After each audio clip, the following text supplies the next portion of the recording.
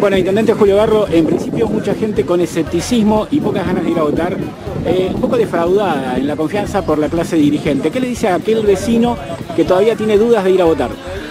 Bueno, primero que siempre los voy a entender, que entiendo que, en el medio de una pandemia hay gente con con incertidumbre, con tristeza, con pérdida de seres queridos, este, también con cierto enojo de, cómo han sucedido todas estas cosas en los, últimos tiempos, pero también contarles sin duda que, que hay que votar, hay que venir a votar porque si no, no tenemos derecho a quejarnos, ¿no? Digamos, si hay un día para elegir, un día para elegir, para castigar o para premiar, es este, es el día de la votación. Así que vengan a votar, vengan a votar con libertad, vengan a votar con tranquilidad, pero sobre todo con mucha, con mucha felicidad porque estamos en democracia.